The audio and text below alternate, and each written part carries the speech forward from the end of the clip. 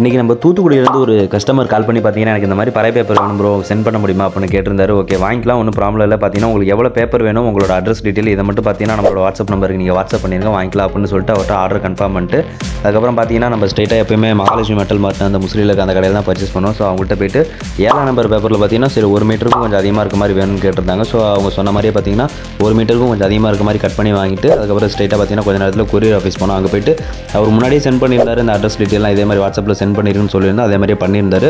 So அவரோட address detail மற்றபடி பார்த்தீங்கன்னா அந்த அந்த பேப்பர் வந்து கரெக்டாக நியூஸ் பேப்பர் வச்சு ரோல் பண்ணி டேப் பண்ணி அதுக்கப்புறம் பார்த்தீங்கன்னா அதில் அட்ரஸ்லாம் எழுதி விட்டு அவங்கள்ட்ட கொடுத்து ஒன் ஆர் டூ டேஸில் போய் சேர்ந்துரும் அப்படின்னு சொல்லியிருந்தாங்க.